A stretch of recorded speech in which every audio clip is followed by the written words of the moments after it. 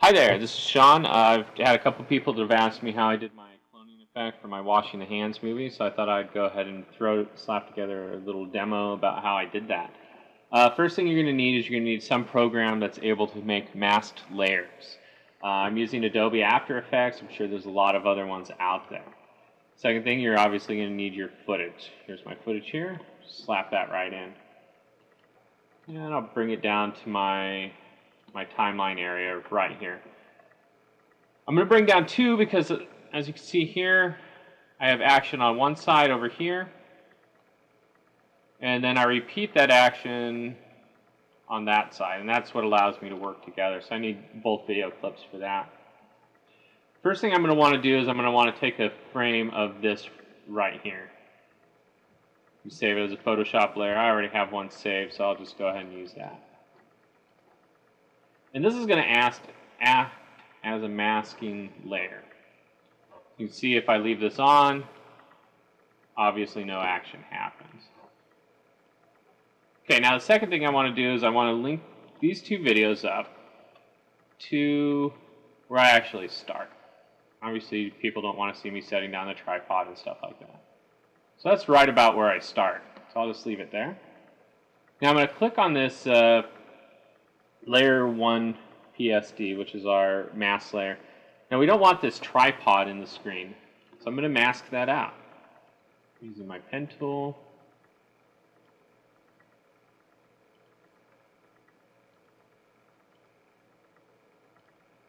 And we just mask that all the way out. And we can fine tune it a little bit.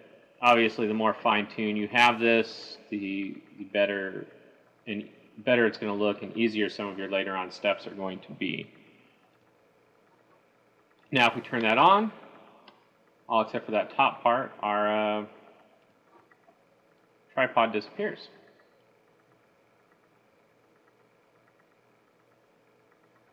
There we go. Our next step is we obviously want this Sean to be active, act, acting with the other Sean over here. I'm going to make one more mask layer. I'm going to select my second video. Just make this, this is going to be a pretty big sloppy mask layer, but that's okay. Go down to my mask, and I'm going to say I want to subtract. So it's going to subtract that area from this film, which will allow me to see this area here. So notice I'll move it along. Hey, there I am. We'll get it to the start of my action here. Now the key here is that you just want to sync up your action. So here's this Sean here going along, steps up, hey, you want a drink? And I hand the bottle out there. Now I want this Sean to be lined up with that as well. So I take it and I move it along until it gets to that point. Now pretty much from this point forward, you're just fine tuning your mask layer. You're coming in here with your masking tools.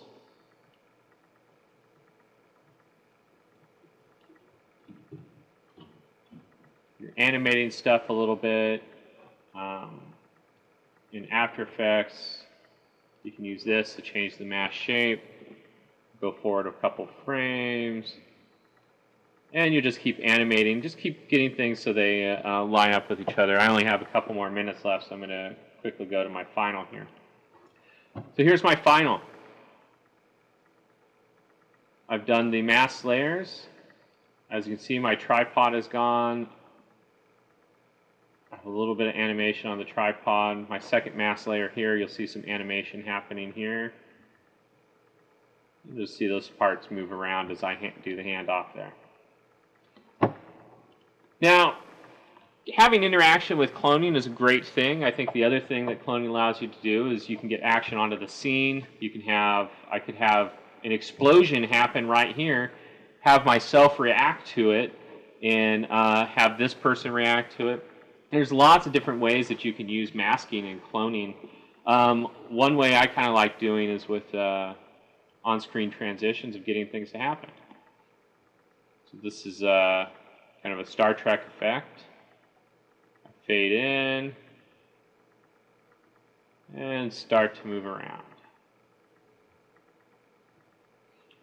Now, one of the big things that you want to watch out for on cloning is just your light source. Um, I did this outside.